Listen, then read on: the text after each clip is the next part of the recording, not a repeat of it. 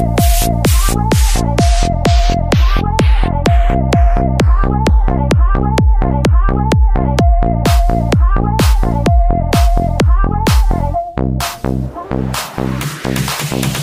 Life's like a road that you travel on. There's one day here and the next day gone. Sometimes you bend, sometimes you stand, sometimes you turn your back to the wind. There's a world outside every darkened door where blues won't haunt you anymore. Where the brave are free and lovers soar. Come ride with me to the distant shore.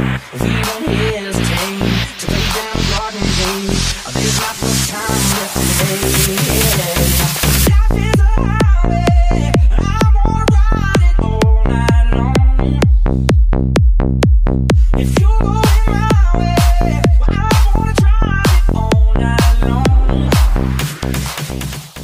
Uh, my big trucker B family. Let me get this camera out just a little bit farther. There we go, much better. Um, so today I actually want to talk about kind of a uh, interesting subject because I, I didn't even think about talking about this before and I should have. Um, drugs and truck driving. Now, as you all know, marijuana is legal what, in California, Washington, Nevada, Colorado, uh, and then of course uh, Washington D.C. and uh, I think a couple other states. If I'm missing, yeah, I'm sorry. Um, but you know, it, it's starting to become legalized and it's very popular and whatnot. Well, something I gotta warn you guys about. If you got, if you do decide to become a truck driver, you know, and you smoke a little weed in your day, or you're still smoking and you want to become a driver, because I had a friend that actually just went through all this, and that's why I came up with this topic. Make sure you're 90 days clean before you go start truck driving school and before you start working a job. Um, a lot of these major carriers, that's about as far back as it goes, is 90 days, but you got to be careful because it can go back for two years. Um, but typically the average is 90 days. And what I mean by 90 days, they go back. They hair, they do a lot of them do hair follicles. Now, hair follicles, what that is, is where they cut off about two inches of your hair, whether it's from your head or your body or your armpit. They don't care. They will get your hair. yeah, right. Um, and pretty much they check the THC level. I guess it's like little lines that show like what time you smoke because the THC level THC gets stuck in your system or something. I'm not a scientist, but I know I know how it works. But it gets stuck in your hair follicle, and it shows on your follicle, um, you know, when you've done it. It's kind of interesting, actually.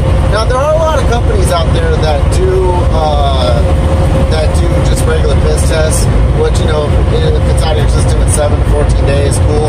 Um, don't try to beat the system. A lot of these major carriers spend a lot of money for these drug tests, and I've seen people fail the system quite a bit because they tried beating it. I'm talking about their follicles. The piss test, uh, a friend of mine actually failed the piss test too because he made his uh, his fake pee too hot. So, um, when it comes to truck driving, guys, I don't advise doing drugs anywhere. Uh, you know, I know you see a lot of stuff on uh, the TV, on movies and stuff, where sorry, I'm chewing some gum and it's like hard. it's not that fresh gum. It's like that.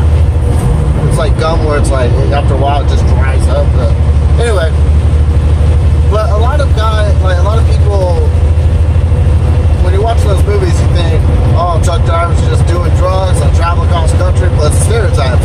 Not anymore. Today's truck driving society, they are very strict, even for drinking. Now let's add drink to this.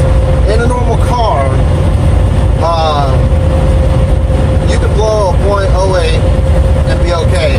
In the truck driving, if you have a CDL, you can't blow over a .04. If you're driving for a company, a .02. Uh, the .02 is a uh, rule book half the time. It's not a law. Alright? But that they will fire you if you know you get pulled over and blow over a .02. I don't know um or get in a wreck and blow. I don't know the, how they do it, how they know, but yeah. But if you blow over a .04, you're uh, you're in trouble, even in your own personal car. So this goes with all types of drugs, guys. You know, they do test for everything, not just weed. But the reason why I bring up weed is because it's starting to become more legal now, more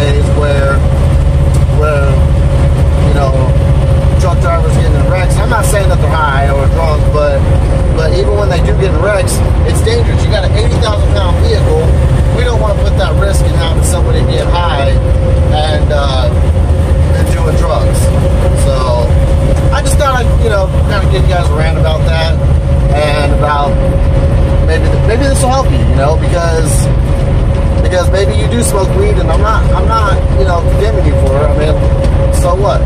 But if you decide to get into the trucking career, I suggest you stop and get clean for 90 days